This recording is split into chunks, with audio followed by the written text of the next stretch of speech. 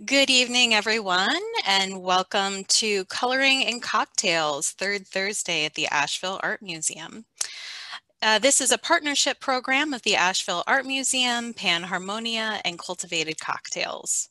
I'd like to also say hello to the folks in the museum's Perspective Cafe who are joining us on the small screen. If you didn't make it out to the museum this evening, I hope you were able to pick up some great food from our partners at Food Experience. My name is Christy McMillan. I'm the museum's Director of Learning and Engagement, and I'll be your host for this evening's program. Please note that all participants' microphones are muted by default. We are recording this evening's program, so if you prefer not to appear in the recording, be sure to turn off your video. However, if you'd like to turn on your video at any time, you're welcome to do so. And I hope that everyone will turn on their videos at the end of the program to share your coloring pages with the group. While coloring is a pastime typically associated with children, research shows that it's a great stress reliever and calming activity for adults as well. First, coloring focuses our attention on something outside of ourselves and into the present moment. Second, coloring relaxes our bodies and brains by focusing our awareness on a simple activity. Finally, since the outcomes of coloring are low stakes and predictable, it frees us to relax and let go. In fact, the therapeutic benefits of coloring have been compared to listening to a person's favorite music, which makes the museum and Panharmonia's partnership even more apt. Now I'd like to go over the flow of tonight's program. It'll be divided into two main parts. For the first half, we'll start with Leah Howard from Cultivated Cocktails, a distillery and shop located in downtown Asheville across from the Grove Arcade. She'll be mixing up a cocktail for us and telling us a little about this local business. If you haven't already picked up a cocktail kit from their downtown location, you'll definitely want to after her presentation. Then our communications external affairs assistant, Devin Farrow, will interview Ken Carder, the creator of our coloring pages and a well-known glass artist. For the second half of the program, we invite you to sit back, relax, and work on your coloring pages while listening to whimsical music selected especially to complement Ken Carder's coloring pages, performed by flutist Kate Steinbeck and pianist John Crawley of Panharmonia. All of our presenters will stick around for a Q&A at the end of the program, but we do encourage you to put any questions that you have in the chat box throughout the evening. We're so glad to be able to connect with members, the Asheville community, and new followers through our Museum from Home initiative, including a robust array of regular virtual programs.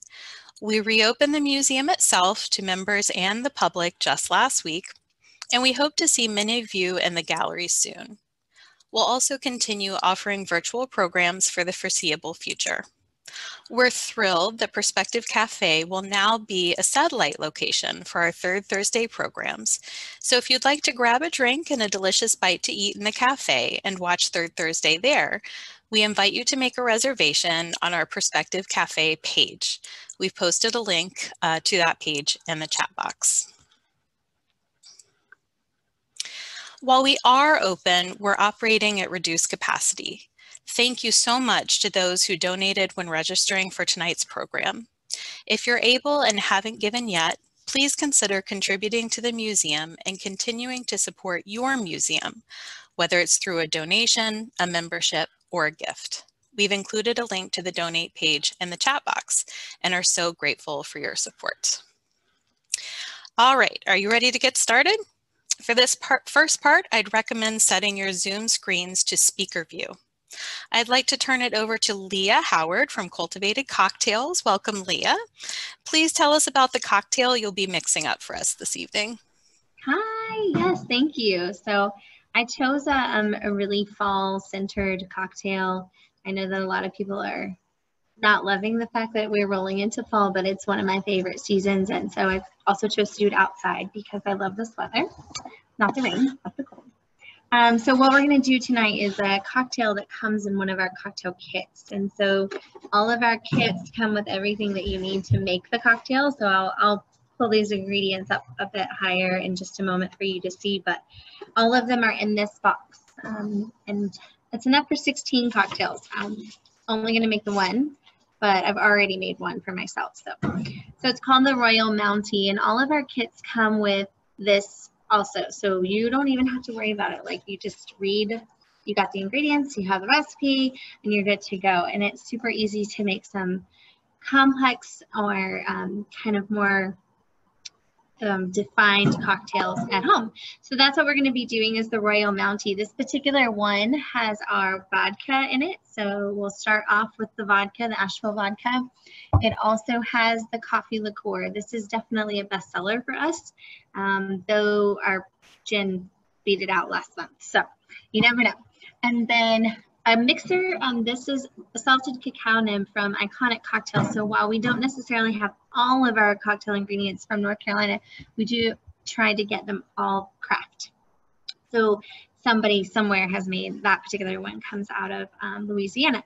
And then we have this charred maple, charred oak maple as well. And so we're gonna put these ingredients together to make this fun cocktail and it will come out looking something like this. Um, because I've been sitting on that one for a minute. Um, for those of you who make cocktails at home, this is going to sound really simple. It is really simple. Please don't be intimidated by any means. There are definitely times that I myself definitely look at all of the ingredients and all of the measurements time and time again and never can remember them all. So, you know, don't feel like you can't make really fun cocktails at home because you absolutely can. So we're gonna add an ounce and a half of vodka to our shaker cup. And if you don't know what a shaker cup is, that's totally fine.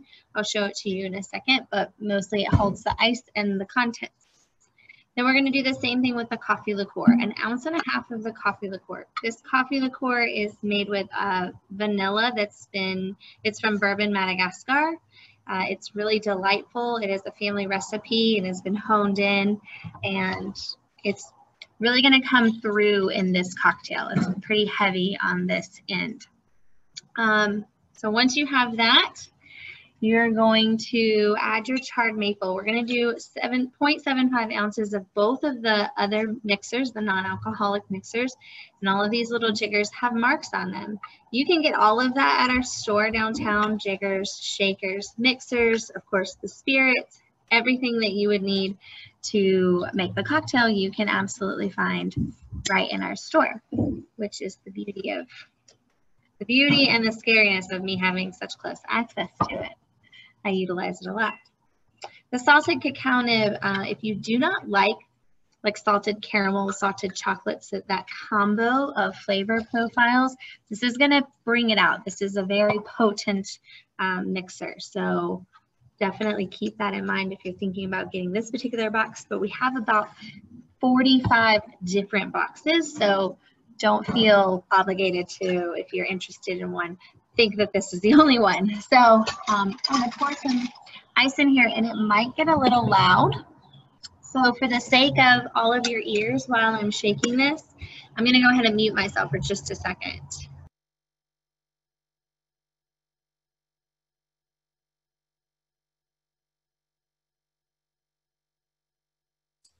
We'll imagine the ice shaking sound for you. Right, just I mean, you know, it's just kind of loud, but you don't have to shake it for terribly long, just enough to get all cooled off and mixed up. I don't know if you can see that there's some like steam from the ice coming off of there. That's about where you want it. Um, you know, any anything else and you're overkill. So then we use this nice pretty hawthorn strainer to go right on top there and pour our beverage right into the glass And then this particular one, I am a dairy fan and I top it with half and half. You can top it with almond milk. We do it at the store all the time. You can top it, top it with um, coconut milk, but it will change the flavor profile of it or just regular milk, you name it. Um, it is all fine. It's perfect, whatever you need to do to it. And then you get this lovely cocktail. Cheers. I'm so jealous. I have an I have an old iced coffee from earlier that doesn't sound anywhere near as good as your delicious cocktail. No um, one can tell the difference if you add the coffee liqueur to your coffee. Okay, but don't tell my boss. She's on here. Hopefully, she's not listening right now. um, Leah, talk to us a little bit more about cultivated cocktails. I know that at the beginning of the shutdown, you were a savior for us. Um, all of the hand sanitizer in the museum comes from cultivated cocktails. yeah, so we um, we pivoted all of our production. Um, it was just a it was just something that we felt we could do. Um, we knew that we we were already using our products as sanitizer just to not be wasteful. Um, the one thing that was a big talk with all distilleries during this um, was is that safe? Is it safe to use your byproduct that we've been using in the distillery to clean as the option for people to be sanitizing? Um, and we decided no. So we decided to continue with the making of all of the sanitizer, but to do it from a distillation and from from just the ethanol and not the methanol, which is you know could be very dangerous for people if not used correctly. So um, we ended up making about 20,000 gallons of sanitizer, and we donated 8,500 or so about after that, I just kind of stopped counting and sent people out the door with it. So I'm not sure, but um, we did begin to sell it. Our, our thing was that we tried not to, to sell it to individuals at first at all. If you were just, you know, person in need and coming by, especially the elderly and um, people who, who had some kind of uh, autoimmune or something. So we did that for a while and then we did start selling in bigger bulk amounts because um, eventually it was taxing for us. But we tried to make sure that it was never like crazy, outrageously priced either because price gouging is not only illegal but also not okay. so um, we've done we've been fine with it. We did lose a lot of our like spirits production time, and so we are playing catch up hardcore. Um, every day is a distillation day, and we're really thankful for that because that means that we're selling our spirits also. And you know, it's it was great to be able to help the community and and be able to pivot. And we did save a bunch of it because I am a worrier and I think that this is going to come back in the cold weather. And I'm like, hoard it because people are going to need it again. And so, so for those of us who are asking or thinking, we've been asked before, will it be available continually? And the answer is yes. We've we have plenty of it. That's great because we do really like it around here. Um, Kristen posted the um, recipe for your cocktail in the chat box. And for those of you um, who maybe want to make it later, we also have the recipe on our website on the Coloring and Cocktails page. So definitely um, head over there to get it. I noticed that um, as you had mentioned, as you were mixing it up, two of the um, spirits were um, uh, cultivated cocktails, spirits, um, the Asheville coffee liqueur and the Asheville vodka. What are the different spirits that you guys make uh, there at the distillery? So we have the rum is actually Asheville's first rum, Hazel 63. Um, we started that, making that in about 2014. Um, then we have the gin was our second spirit, um, and we were Asheville's first gin. So we, we really loved that we like got to dive in and kind of get our feet wet with all of those. Um, but now beyond the rum and the gin, which are lovely, um, we have a Shades of Rosé, which is a red red wine barrel rested gin. We've been doing that for almost two years now. Um, and we do that with a vineyard out of kind of near the Triangle area, RayLen Vineyards, or really it's more Winston-Salem area. And so that's a North Carolina thing as well. And then we do the coffee liqueur, which I use tonight. Um, we do that and we, we sell so much of that we do that in this these little baby bottles and we do them in the like handles so uh, those are options and then we do the vodka which is this is our newest spirit the vodka um, took us a while to hone in what really what we wanted to not taste in vodka, right? So um, it's really lovely. Um, we do a whiskey, usually sells out in about 30 days though. I do it twice a year. Well, I do it three times a year, but twice when COVID is around. So it sells out in about 30 days. Um, so you have to get your hands on that. It's coming back out at the end of October, early November. Um, so there's that. And then we have a creme de cacao coming out with French Broad Chocolate Lounge mm. next in, in October. Yum. Everything sounds so good. Thank you so much, Leah. Um, the cocktail sounds awesome. I can't wait to to mix one up for myself, and I hope that everyone is inspired to go pick up some cocktail mixes from Cultivated Cocktails if you haven't already. And don't forget their hand sanitizer to hand sanitizer is awesome. okay, thanks, Leah. Um, now Thank I'd you. like to introduce Ken Carder, who is our guest artist for the evening. Although known primarily for his glass art, Ken has been drawing for over 60 years as a way to give his imagination a place to relax.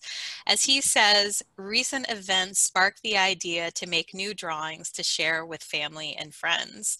Uh, his drawings, which are called Goofies, are an absolute absolute delight, and we're so pleased to be able to share some of them with our audience this evening and to have Ken here to talk a little bit about his art.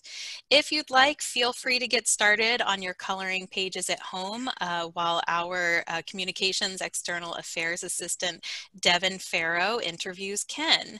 Uh, welcome to you both, and thank you for being here this evening. Turning it over to you, Devin.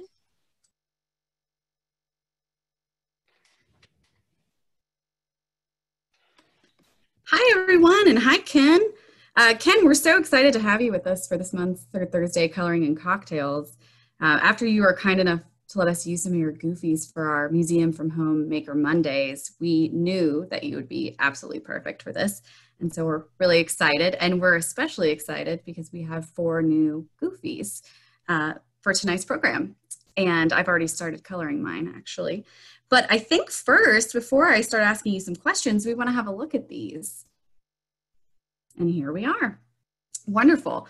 Ken, can you describe these for us? What were you kind of thinking about when you created this, especially for the event? I'm seeing two of them. One of them is uh, uh, kind of a, a ode to uh, the dance by Matisse. Mm-hmm. That, that was kind of using that as a starting point and I thought it would just be something fun to color. Mm-hmm. Uh, the other one, um, the screen's in the way. The other one is was made for specifically for the cocktail idea. Uh, they're both they're both done so the negative space can pretty much be left uncolored, and mm-hmm. the, the, line elements, you know, the individual contained shapes. Uh, you know, is, is what to be, is what's to be colored. Uh, and if you look at them uh, carefully, uh, they go in and out of each other and things. And if you can coordinate your colors so, so they, uh, so you don't have the same color over going over another line and things, it will be uh, probably more interesting composition. But I don't think there's any rules. well, that's good to know. There's not a lot of pressure there then. That's that's awesome. What about these? Uh, the, the one on uh, on the left uh, is obviously a face and things, and these are when I'm making these, they're they're sort of built as much as they are drawn. The compositions are built; mm. they're done fairly spontaneous. And with the more recent ones, I started working them out in in pencil first, so I could come up with. Uh, oh more interesting design concepts. When this whole project originally started, they were pretty much just stream of consciousness exercises. And then as I wanted to get more specific with information, I started doing preliminary drawings uh, out of pencil to rough them out. So again, this the one on the left, you can see it's a face and it's kind of a constructed thing. And uh, when I got down to where I was getting ready to start to do uh, what would have been the torso, uh, I thought, well, that's kind of boring. So I decided to have, have uh, a donkey carrying the head. And why, I'm not quite sure what that's all about. Uh, but I thought it would be more, more interesting. And then the one on the right is, uh, it was done specifically for the music part of the program. And it's, it was, I guess, uh, Kate is my, my take on on on uh, on how she's going to energize everybody with their music. I, I think she is very flattered, and that one is actually my favorite. That's the one I started to color. Um, I want to talk to you more about how long you've been drawing because I grew up since my dad, your friend, is in glass, just knowing you as a glass master. And I don't think people know that you've been drawing for as long as you have. And it's a it's a big creative outlet for you. Uh, I started when everybody starts drawing, you know, when they're two, three, you know, everybody starts drawing. And uh, I just continued basically. Uh, my, I have two siblings, they're twins, and they're 10 years older than I am. So by the time uh, they were 15 and I was five, mm. they weren't necessarily my entertainment committee anymore. you know, teenagers. I had, I had to uh, figure out some stuff to do on my own. And uh, drawing was an indoor activity that I could some for some reason occupy myself, and I really enjoyed doing it. And uh, it worked out. You know, was, you know, there's different forks in the road. One of my first experiences uh, with drawing it was in first grade, and I was reprimanded for drawing uh, on the pages of my school book. And uh, I went to a Catholic school, and the nun uh, that was, you know, our teacher, she marched me down to the principal's office. And uh, the principal came out and asked me if I did, the, you know, did the drawing on these books. And I, you know, nodded, yeah. And, and basically what happened was she sent the other teacher back to her classroom and she said, you stay with me. And she told me to go in this other room and she let me cook in there for about 15 minutes, 20 minutes and finally she came back in and you know she she was very stern and she explained to me why i shouldn't draw on these book covers. And then her demeanor changed and she said do you like to draw? And i said yes. And she said well here. And she went and got a roll of newsprint and she kicked it across the floor and she gave me a box of broken crayons. Oh my god. And she said i want you to draw. And and she, I, you know, so I started drawing. I started drawing birds, and she'd come. She would come in every few minutes and check on me. And when she first came in, I had drawn a number of birds, and they were about the size of a bird. And she said, "No, you have this whole roll of paper. Draw them great big." So I started drawing these really big birds, and you know, like I said, every about ten or fifteen minutes, she'd come back in and check on my progress and she'd nod and say, Very good, keep drawing.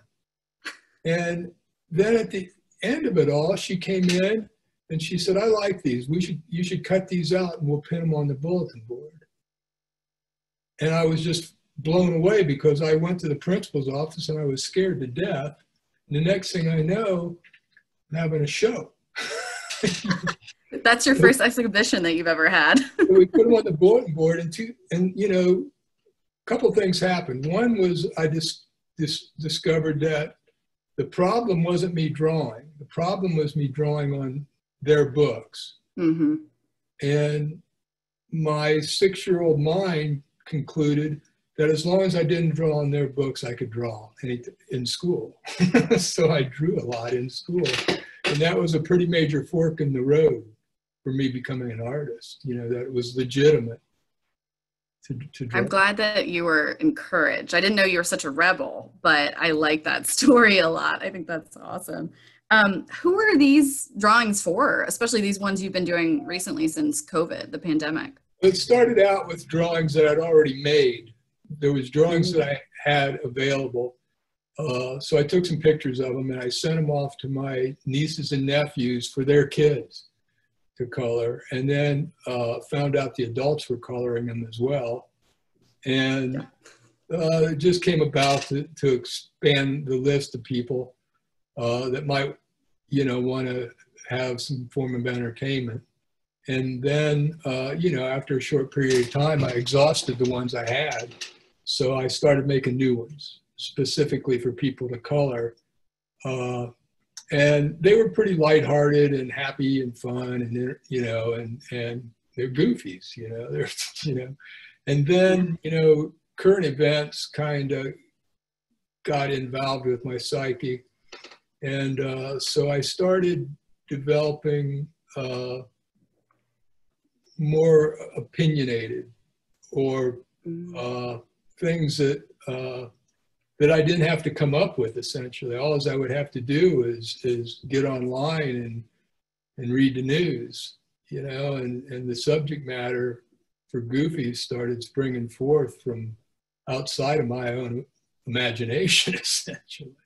Well, I was going to ask you if a lot of them have symbolism or if you're making some sort of statement. Maybe there's one in particular you can tell us about that you were really expressing maybe something from your psyche or frustration. Uh, I don't know if anyone is particular. I think they're all a reflection of of the process of making them. You know, I mean, mm-hmm. uh, our imaginations are a curious thing, mm-hmm. and uh, these are they're exercises for me uh, to sort of keep my chops up as far as uh, that goes, as far as coming up with ideas and things. And I'm humored by making them. You know, I mean, mm. You know, we're all in this strange state of of of chaos, and uh, and by making these, you know, it it's uh, it helps. You know, I enjoy doing it. And then the, the list of people, you know, got a little bit larger and things, but uh, they were intended for others in, originally. And then uh, they came in to where I, I thought if I could entertain myself, others would be entertained by it. So the first thing I had to do was be able to come up with stuff and make things that made me laugh or kind of maybe not always necessarily laugh, but uh, capture a point of reference. Right. You know, that may be something that occurred in current events, and it made me try to think of, about it in a in a unique way, maybe. Mm-hmm. I wonder because my dad actually, when you started making them and sending them out, he said, I'm on Ken's list, and it, he made it sound very exclusive. So I was wondering if people are interested in signing up and receiving them. Is that something you're willing to do? Do you have any uh, future plans uh, with them? So generally, generally, uh, how the list grew is I sent them to a couple friends that that I thought would would get a kick out of them. Mm-hmm. Uh, so I did, and it was wasn't very many people. It was just a very small handful of people, and they started sharing them, or you know, t- sharing them with friends, and and mm-hmm. and and saying, well, why don't you put these? They, he, people would send me their email lists, and I put put people on, and then just random people started. Uh, it kind of just was a word of mouth kind of thing. And uh, yeah, that's how I heard about it. Well, do you have any plans for the drawings, or do you want to do a coloring book someday, or you just want to keep well, kind of going as you are? I, you know, all those things of, you know, through suggestions of others, or you know, thinking about it myself, it's crossed my mind. I like drawing a lot, and I've been doing it for a really long time. It's just, it's never been my occupation necessarily. Mm-hmm and mm-hmm. And it would be great to turn it in to, uh, I don't know if I would go as far as to say occupation, but it would be interesting to have it evolve into a revenue source. That would be, because mm-hmm. I like yeah, I, go doing it. There's opportunity there. Any, well, any, thank you so much for agents listening out there. I, I need, yeah. I need an agent. If we have anyone, we'll be glad to connect to you. Um, and thank you for sharing these. And as I, I, sort of mentioned, we didn't have any of your drawings in our collection. That could be an opportunity, but we do have some significant glass works, and we are wondering if we could we could talk about a few of those. Oh wow! Yeah, can you describe this one? Yeah, uh, yeah, it was made. I was uh, at the time was working at Harvey Littleton's studio, and hmm. uh, I was uh, making imagery with using a technique called cane drawing, where you take colored glass rods that look like spaghetti and use a torch and you melt them onto the surface of the glass. mm-hmm. and make pictures. And then uh, I thought it would be interesting to cut those pictures apart and reassemble them. Yeah, I, I always, it stuck out to me that you had such great uh, figures and faces in your work. And I, I, thought that was really unique. And so when I learned more about your drawing, I was, I was like, of course, you know, he was already doing with this with glass. So it makes sense that was your, your foundation, uh, especially after your trip to the principal's office. Uh, this one actually is my favorite in our collection. Can you tell us about this one? Uh, that's a different technique. There's a little bit of cane drawn, the red lines over the eyes and the black uh, kind of shapes that kind of repeat the eye motif. Those, that's done with cane drawing. The other the part of the image is done through a casting uh, and process that I developed where I make a casting and I would sift colored glass powders over the casting from different angles and then mm. flatten that out and pick it up on a piece of glass and blow it out. And that, that would create a, a image that had a little more depth and volume to it. And uh, I used that technique predominantly uh, through most of my, my, my endeavor with glass. Uh, mm-hmm. And uh, but I've always made figures and things. That's uh, it's just a hot word character, you know. It's just one of those things. You know? This is one of your signatures. Kind of t- tangled up in it, isn't he? Yeah, yeah, definitely better to view in person. Um, but I I love this one, and ah, no, everyone I keep seeing, I'm like, this is the signature. This is the one I think of when I think of you. Now it's this one. Uh, I don't know really what to say about it. It's a vase with a trout jumping on the lip of it.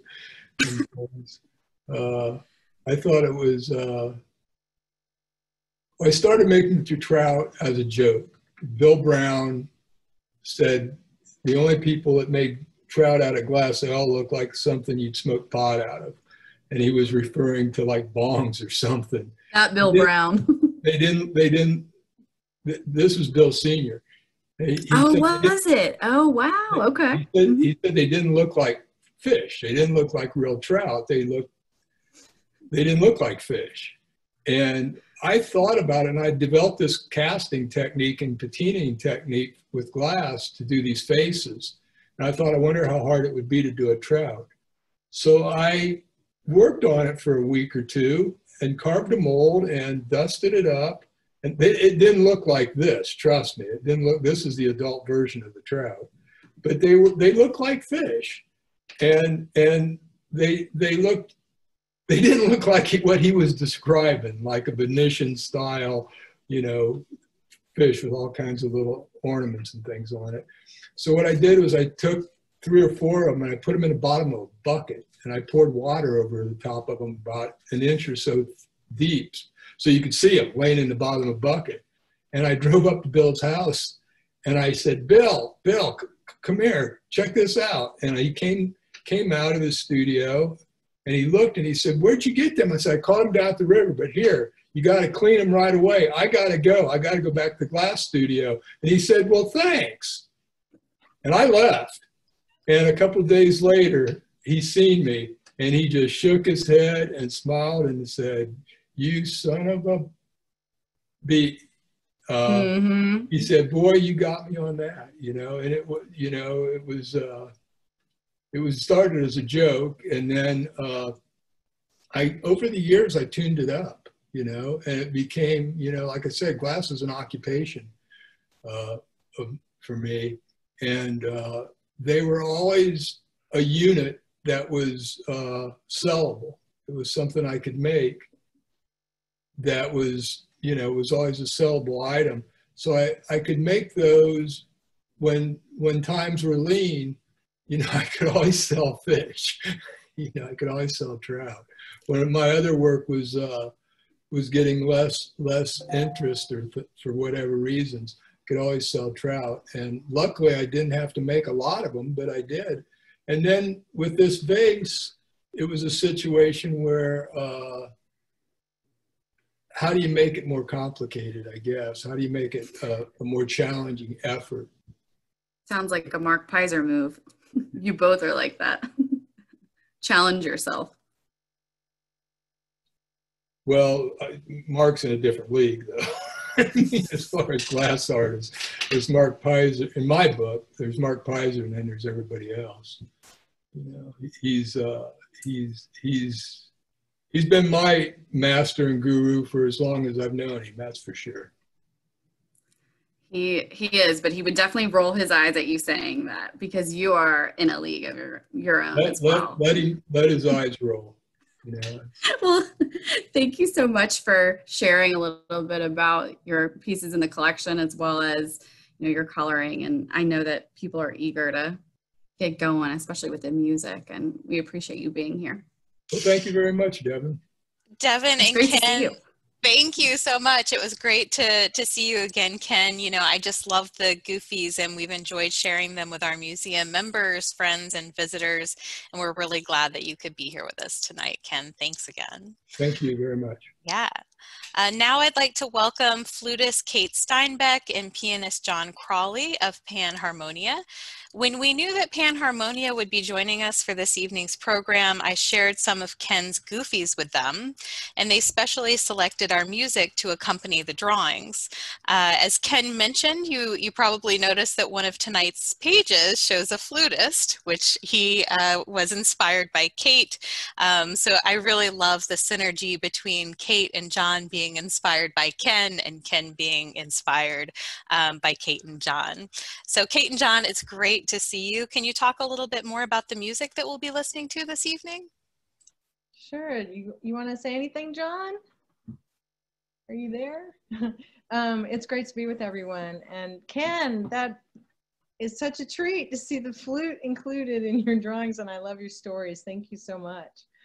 Um, I'm glad I didn't go to Catholic school there, but um, we're starting with a piece that was um, by the Swedish romantic composer Wilhelm Peterson-Berger. When he went to his summer house on a lake in Sweden, this was a, a piece that was inspired by that. Apparently, every Nordic child plays this piece on piano, I've learned. It's one of those real well-known tunes. And we thought it was a little whimsical to to play a welcome summer song here on the last Thursday of summer. So here's a little ditty by Wilhelm Peterson-Berger, whenever you're ready.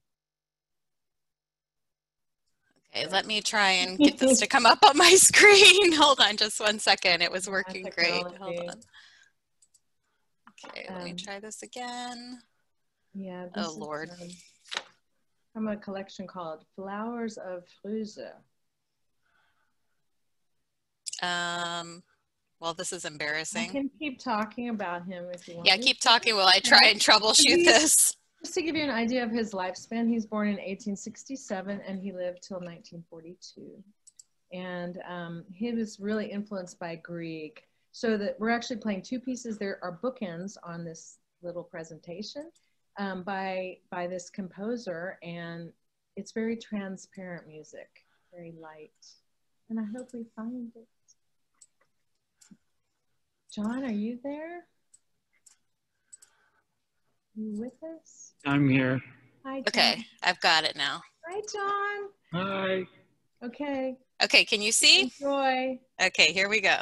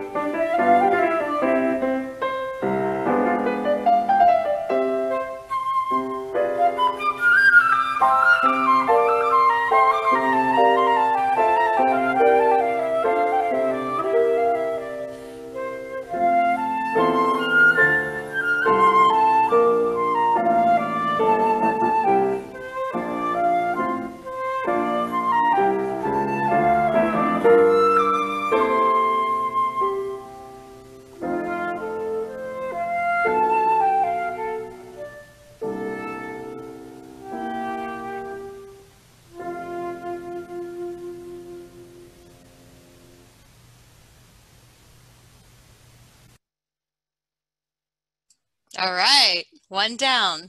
One down. Um, Okay, the what's ne- the next one? the next piece is um, Danse de, de un deuse, which is a deuse, which is a goddess, goddess dance by Reynaldo Hahn. It's not very whimsical, but it's poignant. Um, Reynaldo Hahn lived about the same time as the previous composer. He's born 1874, died in 1947. He was born in Venezuela but raised in Paris, and so his music is um, melodies of the Belle Epoque. And this is a piece written in 1913, very transparent also.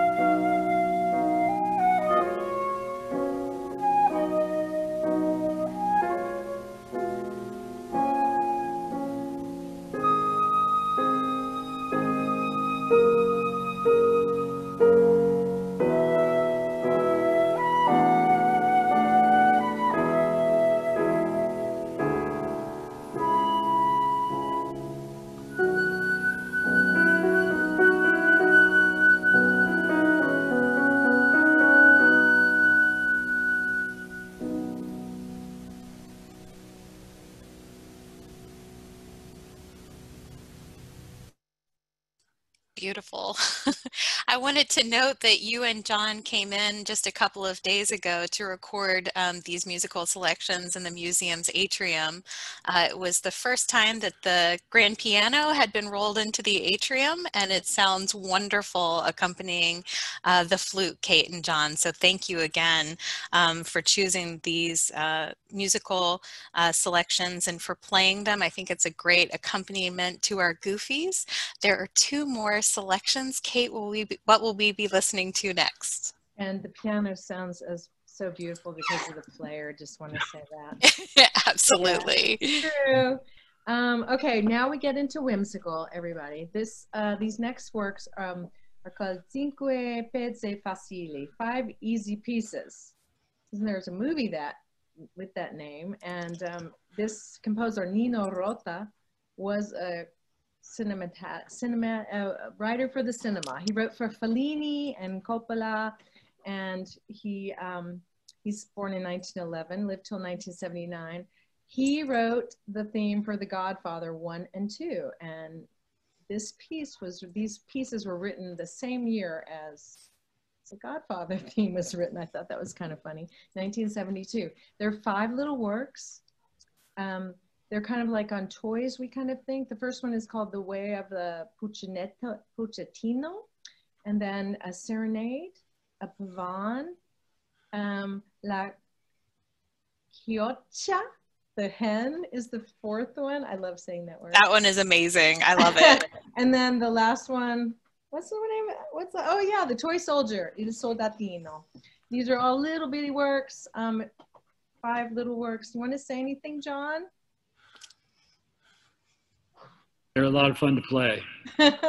it's what I've realized with very transparent music is it's a, the challenge is is there because you hear every single note. So these are beautiful light pieces. Hope you enjoy them, everyone.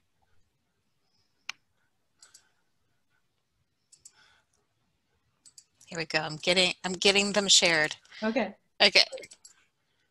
All right. Thank you.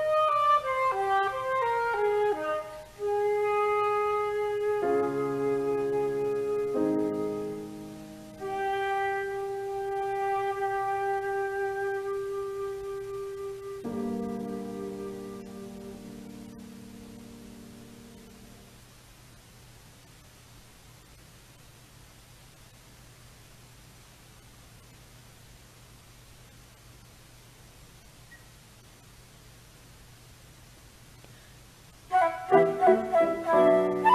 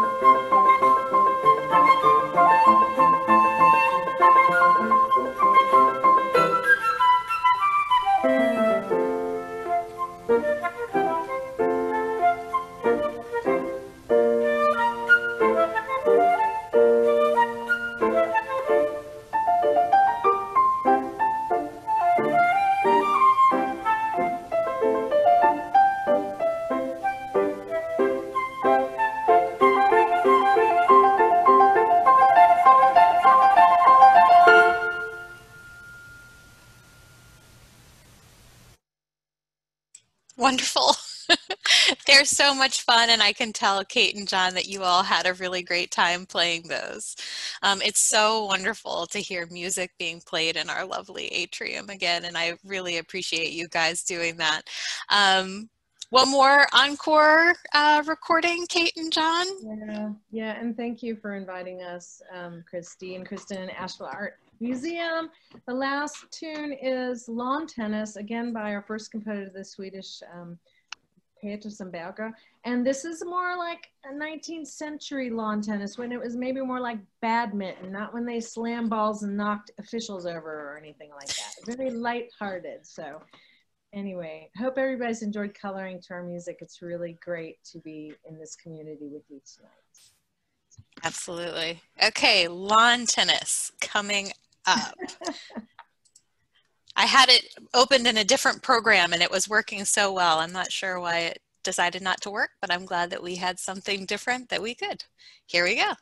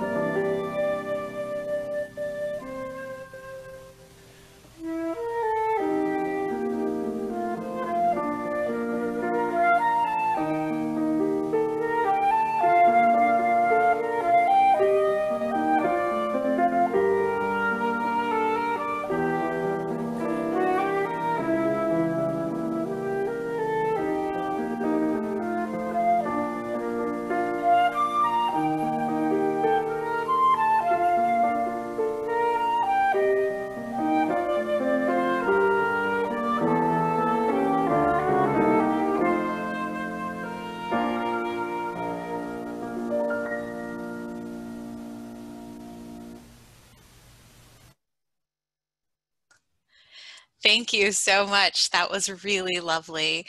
Um, Kate and John, uh, that was a wonderful performance and we're again so excited that you guys were able to come.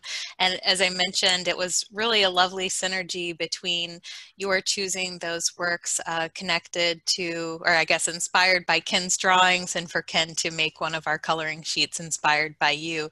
Um, Kate, can I just ask, um, is choosing um, uh, musical selections inspired by maybe art or um, other forms of art, you know, whether it's fine art or uh, visual art or other types of art. Is that something that uh, you've done in the past? Um, quite a, yeah, yeah, and and played in art art filled spaces. That's always just really, really gratifying to do. We're actually starting a work um, by the the black composer William Grant Still for the fall. And his, um, this was um, both, both of them are inspired by paintings. The first one by um, Sargent, Mother and Child. So we're always looking. I, and I, I just have a head full of images when I'm playing as well. What about you, John? Pretty much the same. yeah. Um, yeah. I have a lot of ideas for pairing music and art. Great. Um, Ken, I had a, and by the way, um, we definitely have a few minutes for questions. So if you have any questions for John and Kate or for Ken, please feel free to uh, drop those in the chat box and we will get the them asked. Um, we had a question come in for you, Ken. Um, all the drawings uh, that we have for this evening in our Goofy set uh, look like tubes. Would you ever try and recreate any of these drawings in glass? No, no. no, they're separate ideas. Okay. And I had another question for you, Ken. How does your drawing actualize in your glassworks, or how does your drawing relate to your glassworks? Uh, I, in glass, I've always worked with imagery primarily. Uh, that would be the closest connection, I guess, is just doing things that are figurative or representational. Uh, but they're they're they're they're separate categories. You know, maybe it's playing the same music on different instruments. Good. Kate and John uh, said that when they are performing, that they their minds are flooded with images. When you work um, in your hot shop or when you are uh, drawing, do you listen to music? Uh, it depends what I'm doing, actually. Uh, sometimes, well, the truth be known, I love listening to music, and I don't like that experience interrupted by working. So when I look, we have a really fantastic stereo system in the studio, and primarily I might might clean the studio or something and listen to music, but generally, if I'm listening to music, I I try to just listen to music. I enjoy it so much more. It's it's I don't like it to be background for something else. Yeah, but I'm sure that uh, when you're working in the hot shop, it helps to keep you in the rhythm. Uh, I find it again. I I uh, I get distracted because I want to listen to the music. yeah. I can only do one thing at a time. I think sometimes, and when I'm drawing, uh, I like to really find that place, whatever that place is, and I'm sure Kate and John know it well. That place that you can get, get to where you're riding on something very special. And uh, I find that it's easier to find that spot in silence. Um, we had a question come in uh, from from the chat box from Sharon, and she asks, uh, when you create your drawings, do you have an idea of what the color scheme should be? And I remember that you told me yesterday, Ken, that you never actually color your drawings. Um, so how, what do you think about um, us using them as coloring sheets tonight? Uh, well, first of all, I lied to you. I have. Oh, Ken. not, a couple, not not recently. I haven't years, but I have I have colored a couple of them in. But uh, for me, it's it's it's it's very tedious, and it's a totally different process than engineering the, the compositions and things.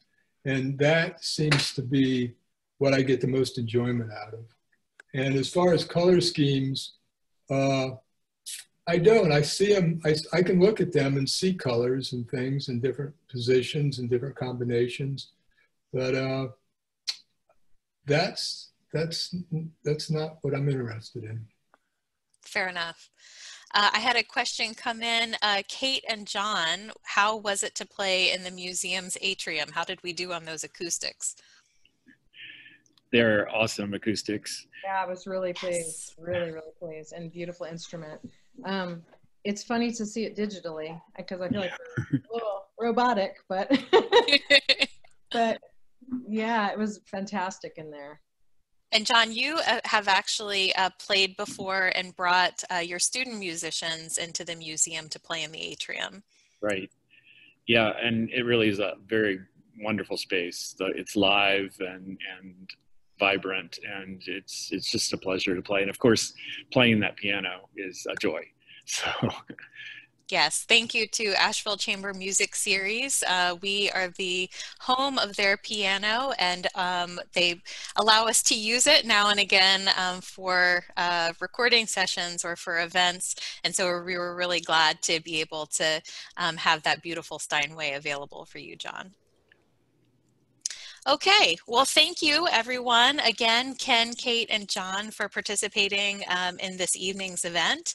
Um, at this time, I hope that everyone will turn on your cameras, uh, be bold, and hold up your coloring work in progress so we can see how you're doing.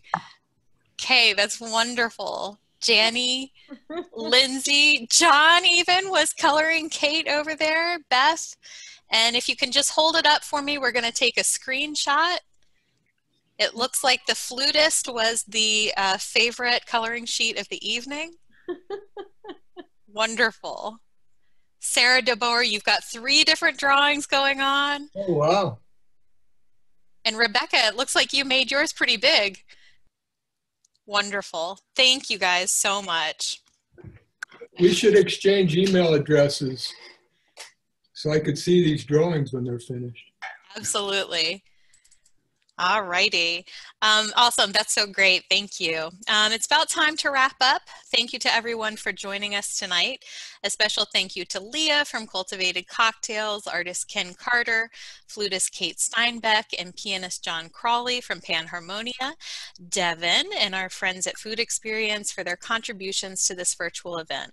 Our event page will remain live, so if anyone wants to go back to find the links, downtown, uh, download more of Ken's Goofies, um, rewatch tonight's program, get that uh, cocktail of uh, recipe. Everything will be posted by the end of the day tomorrow. We will be sending out an evaluation to collect your feedback on this evening's pro program, so please watch your email. We are so thrilled to be open again to our members and the public.